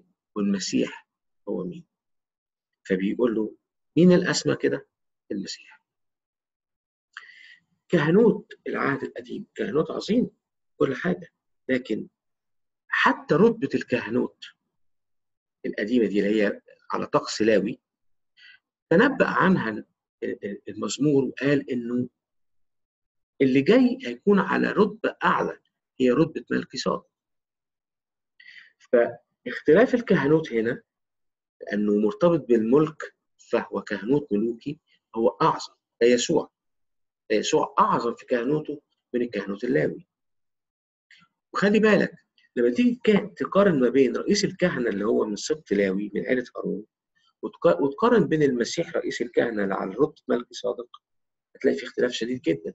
ده إنسان ضعيف هو نفسه خاطي ومحتاج ذبيحة. حياته بتنتهي عشان كده لازم يجي واحد تاني غيره. أما يسوع فهو قدوس بلا خطية. اتجرب في كل حاجة وعارف كل حاجة عشان كده يعرف يعني بس ما كمان ما ارتكبش خطية. مش محتاج يقدم ذبيحة خطية عن نفسه لأن هو قدوس. كهنوته ما بينتهيش. خدمته مش في الأرض خدمته في السماء. فالكاهن الأرضي كان بيدخل أقداس أرضية هي شبه الحقائق السماوية. عشان كده لما بنتكلم عن خدمه الاجتماع أو على الهيكل هو عبارة عن رموز وظلال للحقيقة الكبيرة. فبيقول له رئيس الكهنة ده مع كل عظمته كان بيدخل إلى أقداس أرضية ما عرفش يدخل ابدا إلى قدس الأقداس. أما يسوع فهو بيخدم في أقداس السماء أمام عرش الله فهو فاتح لنا السكة. الطقس اليهودي كان معتمد على الذبائح الحيوانية. وتكرار الذبائح دي بيعني إنه القضية ما اتحلتش لكن كانت كفارة مؤقتة لأنه بكل بساطة دم الثيران والتيوس مش ممكن يخلص أو أو يبرر للتمام لكن كانت تغطية مؤقتة أما يسوع فدخل بذبيحه نفسه بدم نفسه دخل مرة واحدة إلى الأقداس السماوية ووجد فداء الابد حل المشكلة كلها يبقى مين أحسن؟ مين أعظم؟ واخدين بالكم هو ماشي معاهم إزاي؟ من الإعلان الملائكة موسى الكهنوت الكاهن نفسه الذبائح. وبعدين يجي يقول له إيه؟ خلي بالك من حاجة. ده لما هو هيغير الكهنوت كمان هيغير العهد. عشان كده عندكم مكتوب في عهد جديد في ارميه أنا هعمل عهد جديد. فلما يغير الكهنوت ويغير العهد فبيقول لك إن كل النظام القديم ده خلاص قدم. لما قال عنه إنه قديم فبيقول لك إنه شاخ وقريب من الاضمحلال لكن في حاجة جديدة الحاجة الجديدة دي أفضل. فالكاتب هنا بترتيب دقة شديدة جدا عرف يمسك كل عناصر يهودية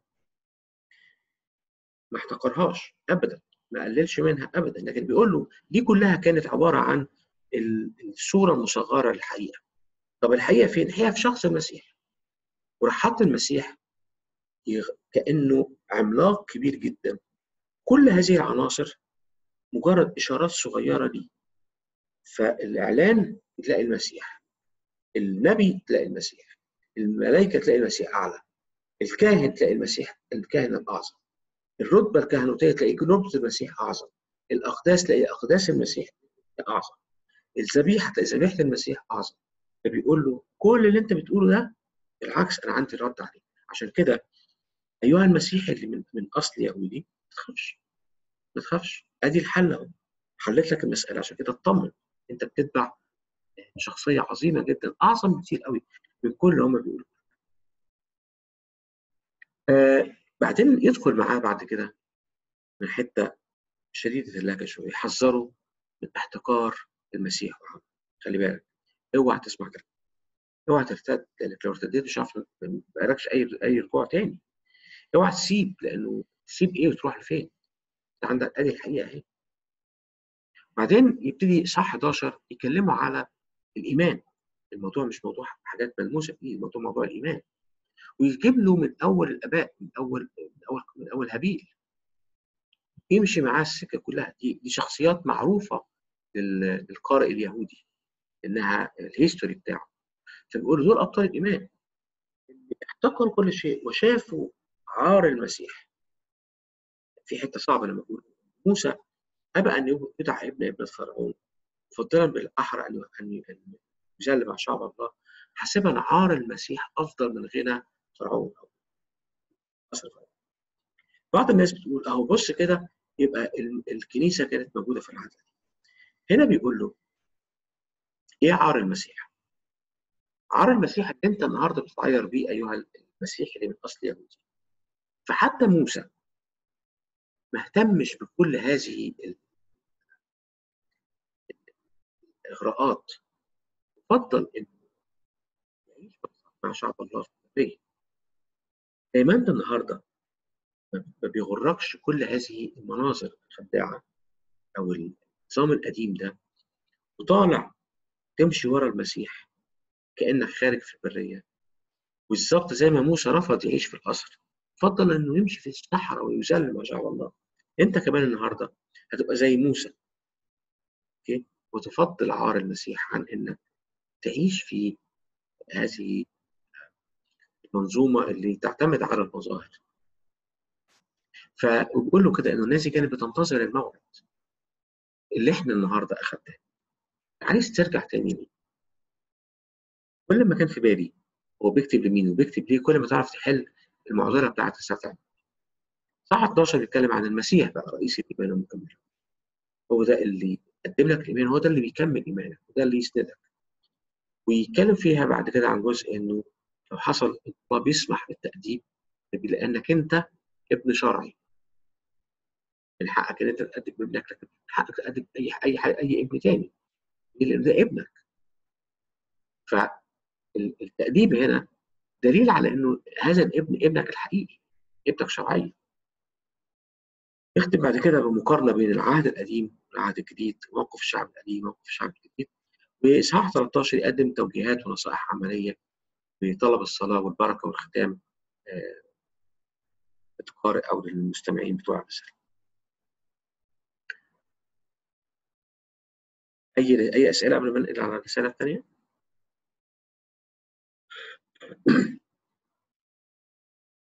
الرسالة اللي بعد كده هي رسالة يعقوب. مين يعقوب؟ يعقوب اخو الرب. في في عدة آراء قال هنا بيتقال إن هو ربما يكون أخوه فعليا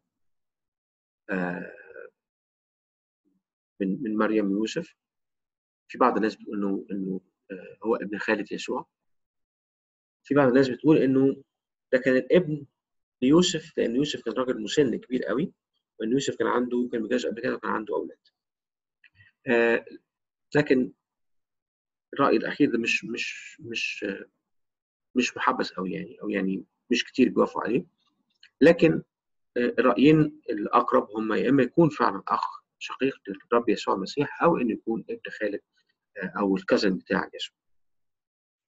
طبعا فكرة إنه إحنا يعني في كتير بيرفضوا فكرة إن يكون العذراء اتجوزت وعاشت حياة زوجية لكن بنقول إنه حتى لو كان حصل يعني يعني الموضوع ما فيهوش أي نوع من الاهانه أو التعدي على شخصية العذراء ابدا لأنه الزواج كان شيء مقدس أو مازال شيء مقدس يعني مش حاجة غلط. لكن بغض النظر إحنا مش مش بنتعرض للنقطة دي لكن بنقول مين هو يعقوب؟ عشان كده اسمه اخو الرب. يعقوب يعقوب كان قائد كنيسة أورشليم. يعقوب آمن بعد بعد المسيح بعد موت المسيح. ما كانش من ضمن المجموعة المقربة. لأنه لما نشوف إن المسيح نفسه كان بي بيقولوا عليه إن هو مختل مجنون. آه فهو آمن بعد كده وأصبح هو آه قائد كنيسة أورشليم. تاريخ كتابة الرسالة دي يرجح إنه من سنة 45 إلى 49 هي فهو من أوائل الكتابات الأولى. بيتميز الأسلوب بتاع الرسالة دي بالأسلوب اليهودي. يعقوب بيتقال عنه إنه كان رجل تقي جدا ويتقال عنه إنه ركبه من كتر السجود كانوا بيسموه كان بيسموه رجل ذو ركب الجمل. إنه ركبه من كتر السجود كانت ورمة. ده ده طبعا موجود في الكتب ما نعرفش طبعا بدقة إيه الموضوع لكن ده لما يقال في الكتب. فكان رجل تقي جدا يهوديا يعني متعمق قوي في اليهودية. عشان كده الصبغة بتاعت الرسالة فيها كتير قوي من سفر الأمثال. طريقة الكتابة التفكير في إنه إزاي الإنسان يسلك بحكمة وإزاي يسلك بمخافة وبيركز قوي على الجانب العملي أكتر من أي حاجة تانية. آه، اتكتبت لمين؟ اتكتبت لليهود اللي امنوا بالمسيح واللي برضه كانوا مضطهدين وتشتتوا في أماكن كتير عشان كده بيقول لهم ما تخافوش احسبوا كل فرحا يا اخواتي حينما تقعون في تجارب متنوعة. مضغوطين ومتشتتين وكل ما تخافش تشجع فبيشجع الناس دي على احتمال المشقه. آه الأسلوب الأدبي بتاعه موجود في اللهجة الحازمة شوية جمل قصيرة دي طريقة اليهود في الكتاب. جمل قصيرة ورا بعضها تحس كأنه طلقات ورا بعض. الجملة صغيرة جدا بس مليانة محملة بالمعاني. فيها تعبيرات وصور بلاغية لأنه اللغة اليهودية عامة بتس... أو اللغة العبرية عامة لغه فيها تصوير كتير. حتى العبارات نفسها تعتمد على الصور. مثلا أقول لكم حاجة مضحكة. لما العبارة بتاعت انه واحد غضب أو اشتعل غضب الترجمة الحرفية للجملة أو للاكسبريشن بتعني إنه مناخيره ولعت. زي ما إحنا في العربي نقول احتمى غضبه أو اشتعل غيظه. الجملة نفسها بالعبري بتعني كده إنه احترق أنفه. فاللغة فيها كتير من التصوير طبيعتها كده لأنه مفرداتها قليلة فبيعتمد أكتر على الصور بتلاقي الجمله قصيرة وفيها إيقاع. فالشعر العبري نفسه لما ندرس مع بعض في العهد على العهد القديم هنشوف إنه نماذج من الشعر العبري عندهم ما عندهمش وزن وقافيه زي في العربي لكن عندهم حاجة اسمها موسيقى داخلية وحاجة اسمها الباراليليزم التوازي. زي مثلا لما يقول فكرة ويقولها مرة ثانية هي هي نفس الفكرة بس بكلمات مختلفة. أو يقول فكرة ويقول عكسها. فنفس الكلام هتلاقيه موجود في رسالة يعقوب. قريب قوي في كلامه من الموعظه على الجبل. الموعظه على الجبل فيها كتير من الجوانب العملية والسلوك العملي. يعقوب بصفته بصبغته اليهودية كان بيركز قوي على الجوانب العملية. عشان كده تلاقي قريب في موعظه على الجبل. زي ما قلت من شوية الرسالتين يعني شخصيتين يعقوب وبولس مش بيتعارضوا. يعني رسائل بولس مش بتتعارض مع رسائل يعقوب زي ما حد بيقول أو إن يعقوب بيقول إنه الخلاص بالأعمال. لا. الفكرة كلها إنه بولس بيتكلم عن التبرير أمام الله من خلال إنه بالنعمة أنا باخد بر المسيح. يعقوب بيتكلم عن إنه إزاي البر ده أو الإيمان ده يكون له مظهر وله دليل عملي الناس تراه وفعلا تبقى برك ظاهر قدام الناس. تفاصيل الرسالة لو رحت الاصحاح الأول ألاقي موقف المؤمن تجاه الضيقات. يحسبوه كل فرح حينما تقول في تجارب متنوعة. لأنه التجارب دي بتقوي إيمانك. أو الامتحانات دي بتقوي إيمانك. طبعا التجارب ممكن تيجي بمعنى إنه بتتحط في امتحان عشان اختبار عشان يقويك ممكن تيجي تجربة الشر إنه الخطيه بتغويك فلازم نخلي بالنا كونتكست تاني بيقول إيه. اثنين بنلاقي في آية غريبة شوية. لا يكن لكم إيمان ربنا يسوع المسيح في المحاباة بعض الناس بتتلخبط في الجملة دي لأنها مترجمة بشكل حرفي فشكلها غريب شوية. فبيقصد فيها ما ينفعش يبقى عندك إيمان رب يسوع المسيح وفي نفس الوقت عندك محاباة بتفضل الناس عن الناس. لا الحياة مع المسيح تعني إنه عارف تقول ده صح ولا غلط. ما تحابيش واحد عشان غني وتسيب الفقير. آه بيتكلم قوي عن الأعمال الصالحة اللي هي عبارة عن ثمرة طبيعية للإيمان الحقيقي، أنت لو عندك إيمان حقيقي لابد إنه يكون بيشمل أعمال، أعمال فيها صلاح، أعمال فيها خير، أعمال فيها رحمة. واحد تالت يركز قوي على الكلام. اللسان آه والكلام ده مرعب لأنه مؤذي جدا. بيقدم لي الحكمة الحقيقية مقابل الحكمة المزيفة. صح الرابع عن الشهوة. إزاي بتحصل؟ وإزاي بتبتدي بفكرة. كل ما تجاوبت معاها كل ما عمالة تزيد لغاية لما تنتج خطية ويشبهها إنه كانه آه واحدة بتحبل وتلد ففي النهاية هتاخد هتجري منها الموت. لكن بيقول له خلي بالك اوعى تفكر إن الله هو اللي بيجربك بالشر. يعني اوعى تقول إن ربنا جاب لي الشر لغايه عندي عشان يجربني. لا. لأن الله ملوش علاقة بالشر. فهو غير مجرب بالشرور يعني ما ينفعش الشرور الخطية تعمل تمتيشن لله وهو أيضا لا يجرب أحد بالخطية. يعني ما ينفعش أقول إن ربنا آه، سمح لي وحطني في موقف إني أسرق حطني في موقف إني ازني لا طبعا. الله ما بيجيبش الخطية. لكن الله سمح لي بموقف مثلا أتعلم منه سمح لي بموقف إني أتحط في تجربة دي سمح للناس إنها تتشتت من من بيوتها؟ آه سمح. أوكي؟ بس حتى من وراء التشتت ده من وراء ورا الضيقة ديت بنلاقي إنه بيطلع حاجة حلوة. بيستخدمنا بيباركنا بيقوينا بيعلمنا. إنما الخطية الله ما بيجيبش الخطية اللي عندي يقول لي ها؟ هتعمل إيه؟ لا ما يعملش كده. الصح الخامس بيتكلم عن الناس بتدور على الغنى. همه في الثروه والفلوس يقول له لا حاطط حاطط إيمانك وحاطط ثقتك في حتة مش مش صحيحة ابدا. بعدين يكمل بنواحي عملية الصبر تحمل المشقات. آه، إزاي نصلي؟ آه، إزاي نصلي؟ لاجل المرضى صلاة الإيمان تشفي المريض والرب يقيمه. okay؟ بي- بيورينا إزاي إحنا نتعامل آه، بشكل عملي.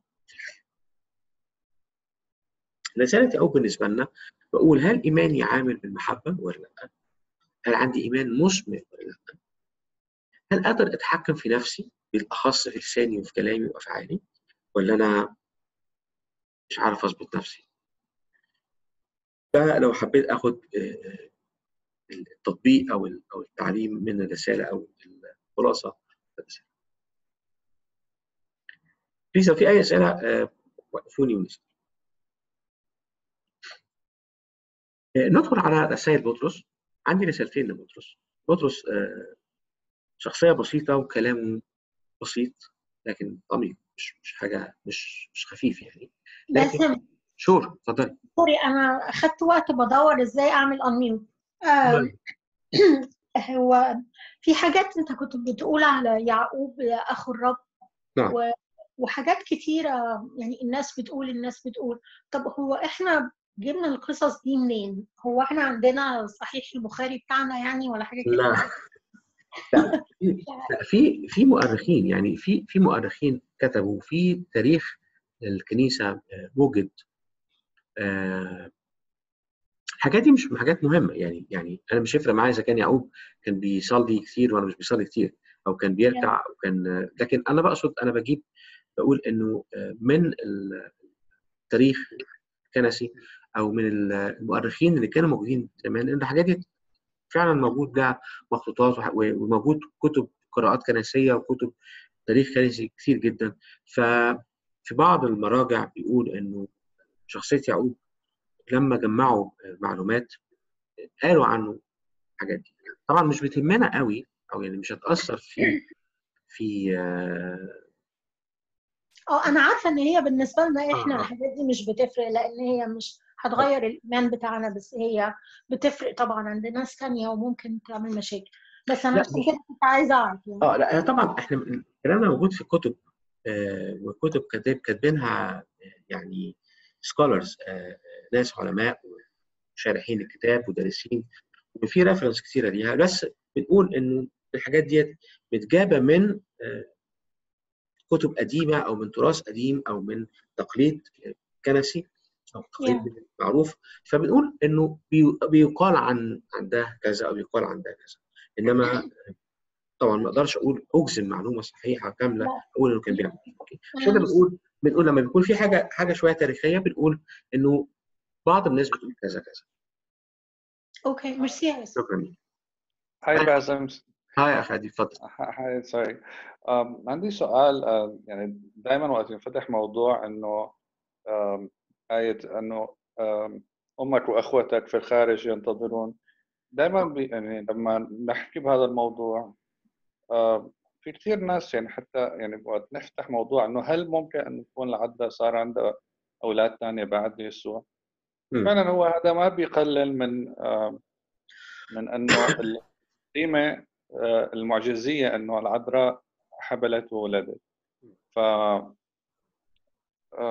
في هل في شيء بالتاريخ آه، الكنسي أو تاريخ بهذاك الوقت مسجل أنه آه، يوسف والعذراء جابوا أولاد ثاني ولا ممكن نعتبر أكثر إنه يعقوب هو ابن خالد؟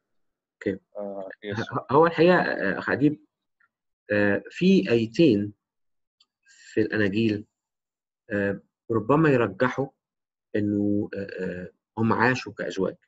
زي ما بيقول مثلا إنه آه، لم يعرفها حتى وضعت ابنها البكر؟ وفي الآية اللي أنت استخدمتها اللي هي أمك وأخواتك بالخير. آه، ده ده ده اللي بيستند عليه ال- ال- المفسرين اللي بيقولوا إنه آه، عاشوا حياتهم طبيعية جدا كأي أزواج وخلفوا. لأنه كعيلة يهودية طبيعي طبيعي عندهم أو أي عيلة أي زوج وزوجة هيخلف ال- المجتمع الشرقي بتاعنا والكنائس الشرقية بتاعتنا آه، بالاخص الكنائس الأرثوذكسية والكاثوليكية آه، بتعطي قدسية شديدة جدا آه، للتبتل أي انه انه يعني اللي ما اتجوزش أحسن من اللي اتجوز. آه، ده راجع لتأثيرات قديمة جدا بتقول إنه آه، يعني كان بيرى إنه الجنس انه العلاقة الزوجية ربما آه، فيها نوع من الشهوة وإنه مثلا الراهب أو الراهبه أو الناس دي آه، أفضل في حياتهم من المتزوج أو المتزوج. طبعا دي صورة مش كتابية آه، لأنه الله كرم الزواج والله هو اللي حط هذه الطاقة في داخل الإنسان سواء رجل أو امرأة وهدفها الاستمتاع والإنجاب فمش حاجة خطية لأنه الجنس موجود في العلاقة الزوجية والله حطه كده عمله كده أو مش حاجة خطيه ف لدرجة إن في بعض الناس كانت لما بتقرأ مزمور 51 لما بيقول داود بالخطايا حبلت بي أمي بيتخيل إنه كلمة بالخطايا حبلت بي أمي إنه بسبب حصل آه، جماع أو حصل آه، آه، ممارسة جنسية.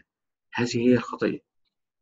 آه، ده تصور كلها تصورات وأفكار خاطئة جدا ملهاش علاقة بالكتاب الحقيقي. آه، لكن التوجه بتاع الكنائس ديت أو كمان الشرقيين بشكل خاص إنه كان بي بي بيقدس حالة التبتل أو حالة انه ما اتجوزش فبيفضل دايما عايز يدي آه هذه الصورة للعذراء تفضل دايما بيسموه دائمة البتولية يعني آه لم لم تتزوج مطلقا أو لم تمارس الحياة الزوجية مطلقا.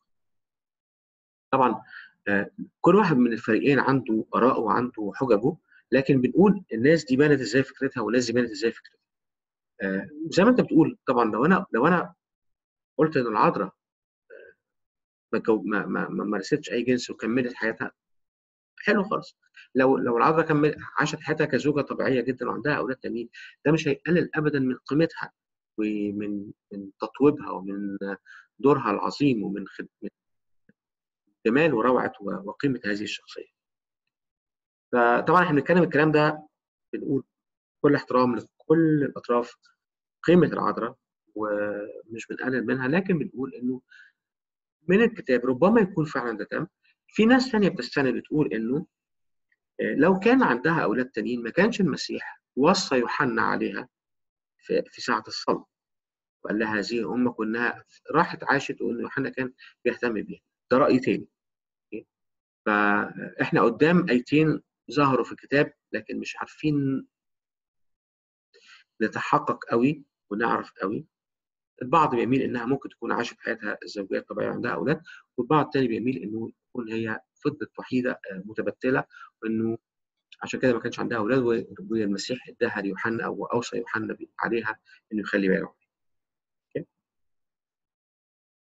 هو هو هو يعقوب ده مش ابن زبدي اللي هو اخو يوحنا المفروض لا، ولا؟ لا. ده غير. آه ده ده غير هو- بيسمي هو بيسمي نفسه إن هو يعقوب أخو الرب. ويهوذا يقول عن نفسه إن هو يع- يهوذا أخو يعقوب. ففي اثنين يهوذا ويعقوب. أوكي.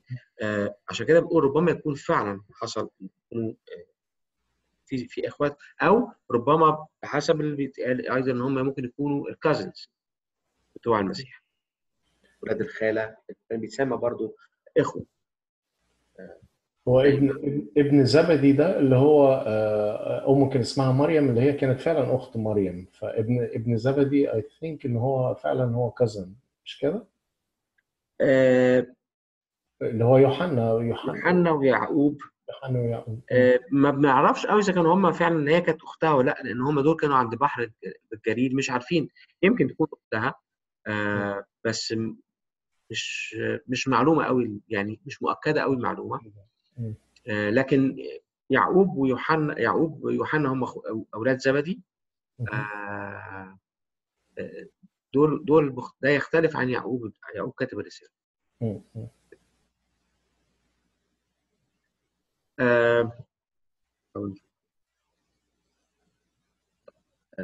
شكلنا مش هنلحق نكمل ده.